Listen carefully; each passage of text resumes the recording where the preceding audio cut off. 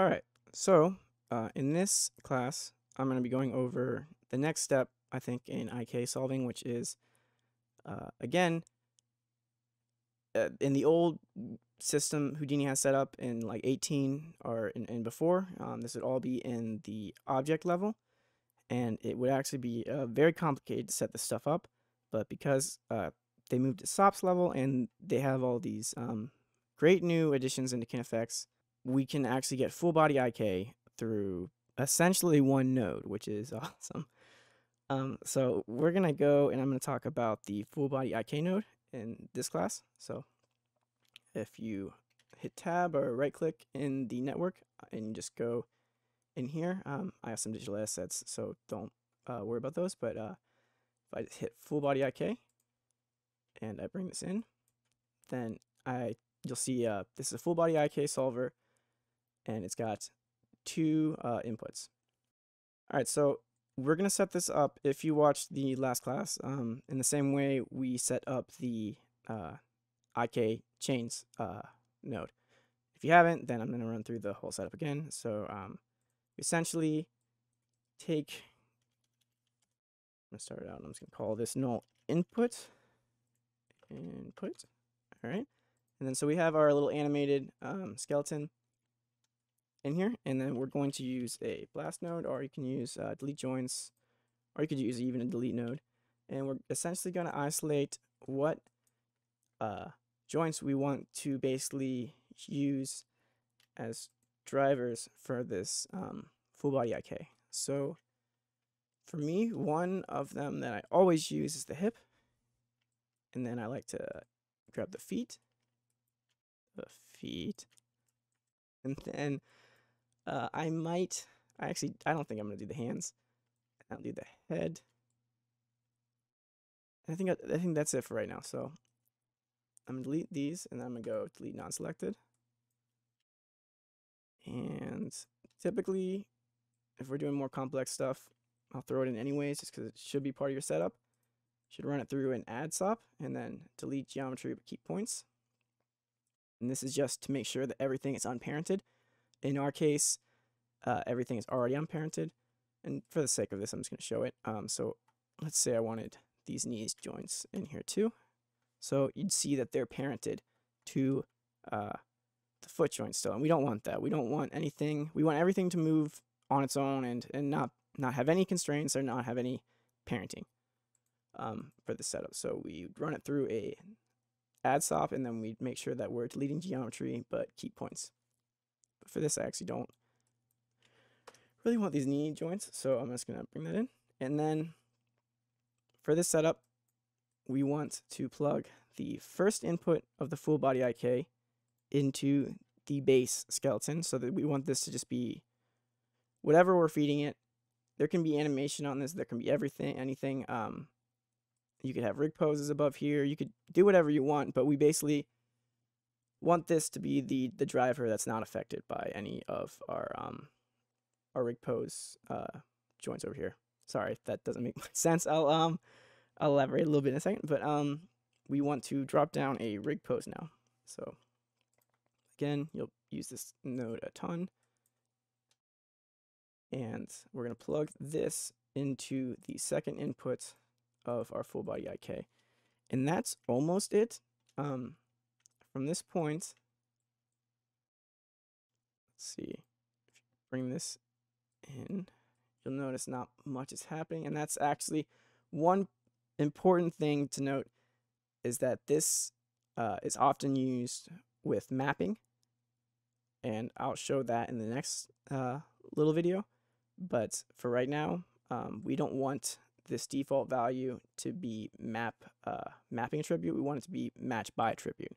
And now we're going to get this full body IK solver where we can move these joints around and it's going to try its best to essentially make make it work.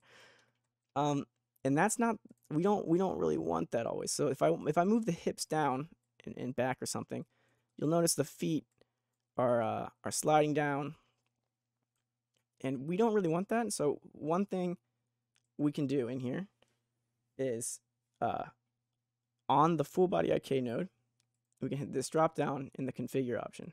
And here is where we'll start configuring the weights of these uh, rig pose joints.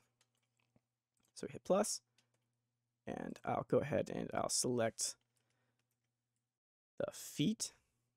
So these joints, and right away, I'm pretty sure that has an effect. No, it doesn't. So right away, it doesn't do anything. Uh, if we crank this weight up, you'll see that it starts respecting the foot location um, of of these a lot. You'll start respecting essentially this location a lot more than it respects this location.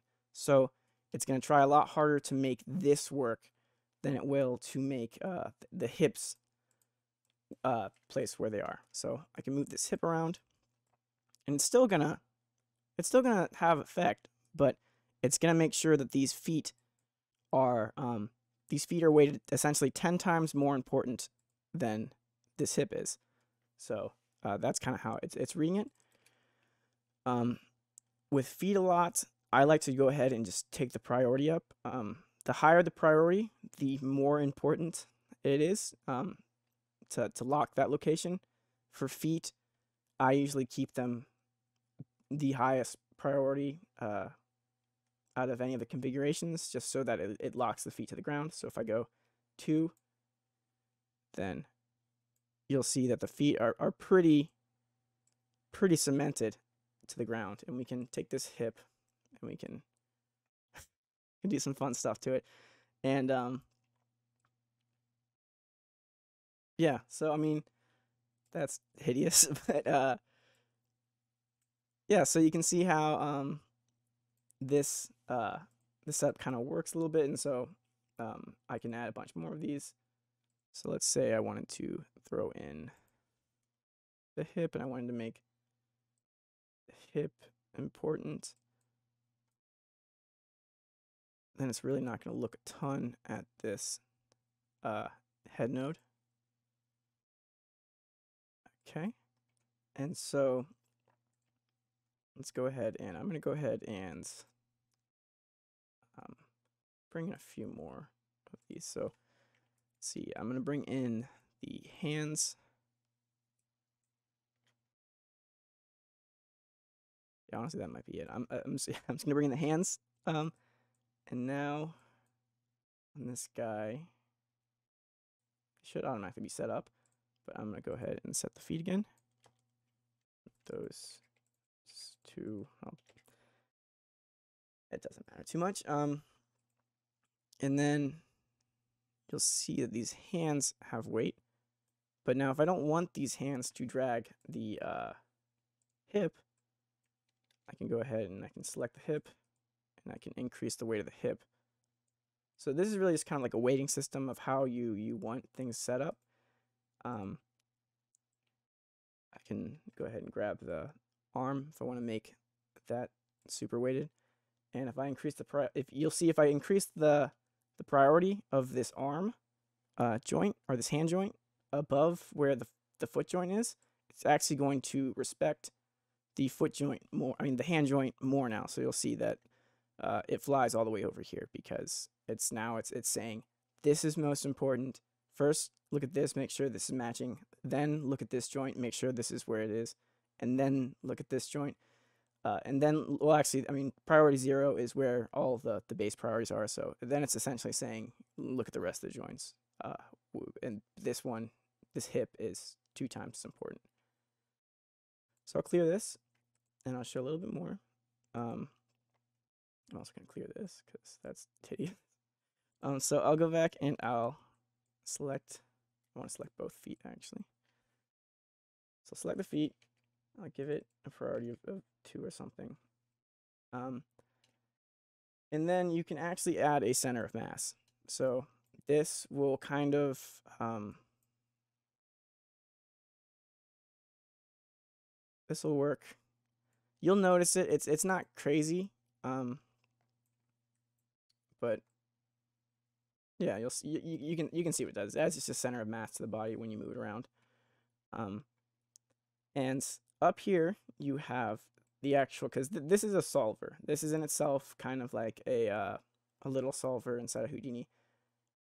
Um, and it runs through these iterations and tolerances. Now, a lot of the time, actually, I don't think this tolerance is quite enough. So I actually go a little bit lower. I'll, I'll sometimes I'll get some jittery feet is the whole thing. If I if I leave this at 0.01, sometimes my the feet on uh on this rig will will get all jittery and uh, if I, if I have a lot of movement and stuff like that and they'll kind of start looking a little glitchy so I'll actually sometimes go go down to 001 or 005 that's fine um, show you kind of what dampening does so the damper it is essentially like the smoother it is I don't think you can go much I guess you can um, but essentially, you'd want to keep this 0.5 is fine. Um, I sometimes go like 0.9, or I usually don't go above 1. And then the more iterations you have, uh, like most things, it's, it's going to be more accurate, but it's going to take longer to solve. Uh, and then you have this FABRIK solver, which I'm not exactly sure what's used for. I, I mean, it, sounds like it's used for fabric and like maybe clothing or something. I can't attest to that. I don't, I don't know. I have actually not used this yet. I always just stay on the full body IK solver. Um, but as far as how this works, that is essentially uh, the gist of of this solver. All right, so that I think about sums up the full body IK solver. If you have um, questions about this, uh, let me know in the comments, and I'll try my best to answer things. Or if you need me to make another video at some point in time, I can. Um, so again, thank you for watching. In the next class, I think we're going to cover um, some of the uh, match move animations uh, that involve using this full body IK node. So again, thank you for watching, and I hope you enjoyed.